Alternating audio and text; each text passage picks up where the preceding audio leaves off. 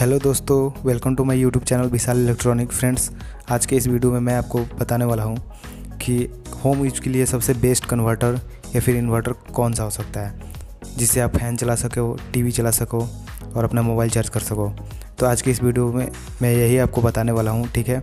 और ये जो 200 वाट का कन्वर्टर है, जो आप देख रहे हो स्क्रीन पर क्या ये आपके लिए बेस्ट रहेगा? आज इस, इसी बारे में हम वीडियो में बात करेंगे, ठीक है फ्रेंड्स तो वीडियो को लास्ट तक ज़रूर वॉच करना। और मेरे चैनल पर नए हो तो मेरे चैनल को सब्सक्राइब ज़रूर कर लेना, क्योंकि ऐसी वीडियो मैं अपने चैनल पर लेके आते रहता हूँ। तो चलिए वीडियो को शुरू करते हैं। फ्रेंड्स, मैं आपको बता दूँ कि 200 वाट का जो ये कन्वर्टर है, इसकी लाइफ काफ़ी लॉन्ग है। इसको मैंने यूज़ करके देखा हुआ है। ये बहुत ही अच्छा काम करता है।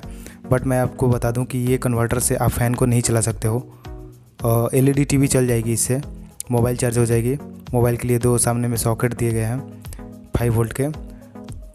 उससे आप मोबाइल चार्ज कर सकते हो, बट इससे टीवी नहीं चला सकते और आपका फ़ैन भी नहीं चलेगा। जो सीलिंग फ़ैन है, वो नहीं चलेगा।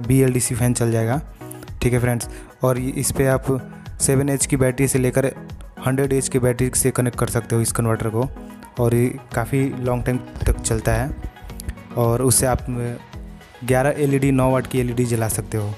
और बात करते हैं बेस्ट इन्वर्टर जिससे आप फ़ैन चला सको तो ये स्क्रीन पर जो आप देख रहे हो वीडियो इसमें मैंने यूपीएस का ट्रांसफार्मर यूज़ किया। ये ये वीडियो मेरे चैनल पर पड़ा हुआ है, आप जाकर देख सकते हो।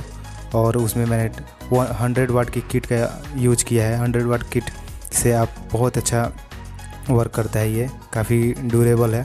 और ट्रांसफार्मर आपको चाहिए यूपीएस का, या फिर बारह ज़ीरो बारह का ट्रांसफार्मर चाहिए। और आप अपने हिसाब से उसको लोड दे सकते हो। फ़ैन भी चला सकते हो टीवी भी चला सकते हो, लेकिन मैटर यही करता है फ्रेंड्स कि आपने कितने एच की बैटरी यूज़ करी है। अगर आप 100 एच की बैटरी यूज़ करोगे तो आपको बैकअप मिलेगा और फ़ैन भी चला सकते हो।